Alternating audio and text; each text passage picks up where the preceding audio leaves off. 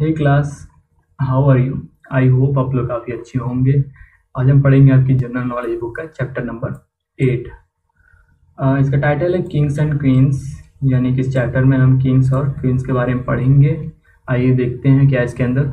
In ancient times India was ruled by kings and queens ancient times में India के ऊपर कौन लोग रूल करते थे? किंग्स और क्वींस जब इंडिया डेमोक्रेटिक कंट्री नहीं था, जब ब्रिटिशर्स के अंडर नहीं था तब वहाँ पे इंडिया में कौन रूल करता था? किंग्स और queens use the clues to figure out their names clue का यूज़ करना है और उनके नाम को आइडेंटिफाई करना है. First one is the king who gave a war after the war of Kalinga वो कौन से किंग थे जिन्होंने कलिंगा की वॉर के बाद वॉर को ही गिव अप कर दिया? यानी जब कलिंगा की वॉर हुई तो इतनी मासूम लोग मारे गए, इतने मासूम लोगों की जान गई कि किंग जो उस वक्त के किंग थे उनके अंदर दया की भावना आई और उन्होंने वॉर को ही गिव अप कर दिया, वॉर को ही छोड़ दिया। फिर उन्होंने पीस और बुद्धिज़्म का उन्होंने प्रचार प्रसार किया। वो कौन किंग थे? वो किंग थे अशोका, जिनको हम अशोका द ग्रेट भी कहते हैं। ए एस एच ओ के ए ठीक है? Second one is Babar's eldest son who ascended the throne at the age of twenty three Babar के सबसे बड़े बेटे जिन्होंने उनके बाद गद्दी को संभाला तेईस साल की उम्र में उनका नाम क्या था? उनका नाम था हुमायूं। ठीक है? H U M A Y U N okay third one देखते हैं। Greatest of Mughal emperors who introduce the Din Ilahi religion religion ठीक है? मुगल एम्पोर के सबसे ग्रेट किंग जिन्होंने दीन इलाही रिलीजन को इंट्रोड्यूस किया दीन इलाही रिलीजन में आ, हर रिलीजन के लोग एक साथ बैठ के वहाँ पे डिस्कशन करते थे। और इनको मुग़ल एम्पर का सबसे बड़ा किंग, सबसे महान किंग भी माना जाता है। इनका नाम था अकबर, ए के बी ए आर। पूरा नाम इनका था Jalaluddin Mohammad Akbar.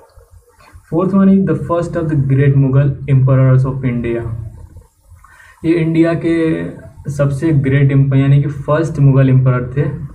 इनका क्या नाम था? इनका नाम था B A B U R यानी कि बाबर। इनका पूरा नाम था Zahiruddin Mohammad Babur. Fifth one is the first women to sit on the throne of Delhi throne का मतलब होता है गद्दी, राजगद्दी, ठीक है? तो कौन सी फ़र्स्ट वुमेन थी जो दिल्ली की राजगद्दी पे बैठी दिल्ली के थ्रोन पे बैठी? वो थी Razia R A Z I A उनका पूरा नाम था रज़िया सुल्तान। आई होप आपको समझ में आ रही होंगी चीज़ें। काफ़ी छोटा छोटा सा क्ल्यू दिया है। तो आपको वही पढ़ के आइडेंटिफाई करना है। और इनके बारे में भी आप डीप पढ़ेंगे आगे क्लासेस में। तो सिक्स वन देखते हैं द किंग हुआ है डिस कैपिटल एट थनेश्वर वो किंग जिसका कैपिटल थनेश्वर था। थनेश्वर यानी कि आज का हरियाणा। वो कौन थे? वो थे Harsha.